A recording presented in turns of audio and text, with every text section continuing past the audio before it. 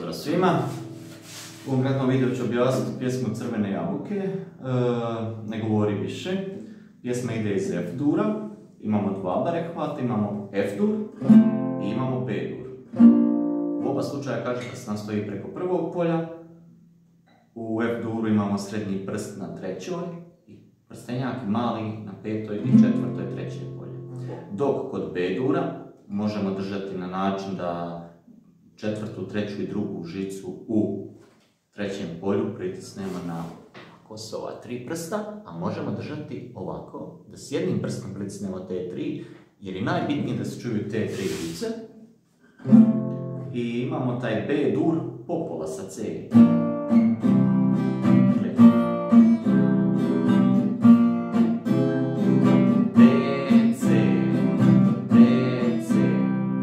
Pjesma ide uvod ide F dur, A dur, D mol, po jedno papatito, onda D C popola, dakle F dur, A dur, D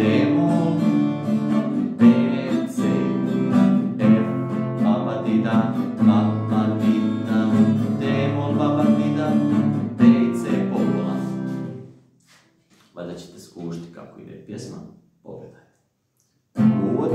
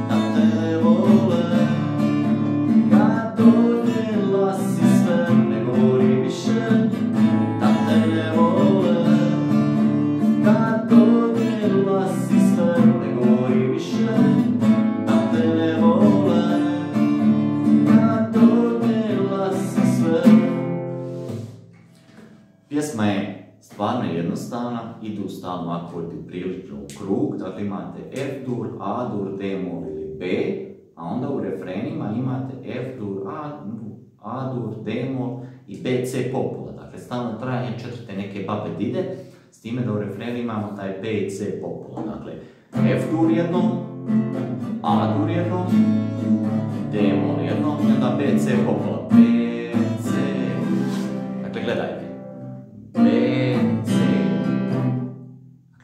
držim, da se samo prebacim na C.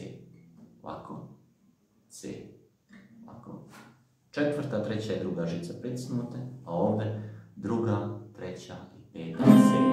Dakle, C.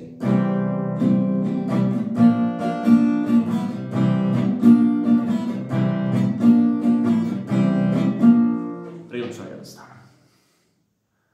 Vidimo se još sljedećih videa.